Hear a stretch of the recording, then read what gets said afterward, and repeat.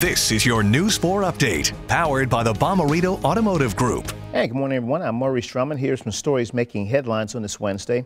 News 4 has been having a busy morning following the developing story on the McKinley Bridge. An officer in need of aid call came in about 3 a.m. this morning, which prompted a huge police presence. Then a car drove through a police barricade and later shots were fired. You can head to our website, KMOV.com, as well as our KMOV News app for the latest updates on this story. Right now, the mask mandate in the city of St. Louis is still in place, but it's suspended in St. Louis County following a judge's approval of a temporary restraining order. The council could vote on a mask ordinance at next week's county council meeting.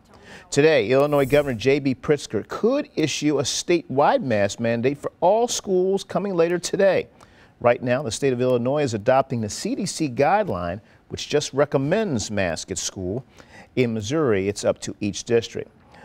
Results are in from yesterday's special election across Missouri, and the big one is Prop R, which is a tax increase to fund updates to St. Louis community colleges and programs in the city, county, as well as Franklin and Jefferson counties. It has passed, by the way, and to see this and other races, you can check out our KMOV News app.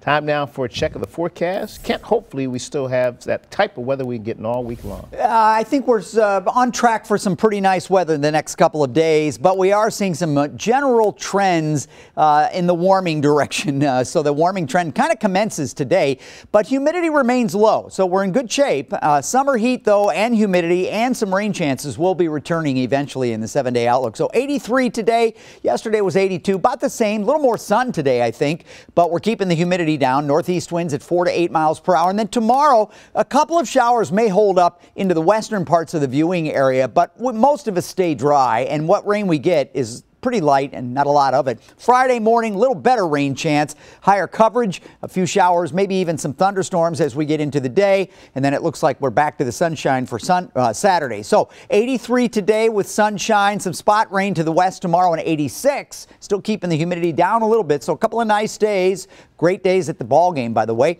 30% uh, rain chance on Friday, the high 89, which is right on the normal high for this time of year. And then Back to the 90s over the weekend and humidity climbing 92 on Saturday, 93 and humid on Sunday with a 20% rain or storm chance.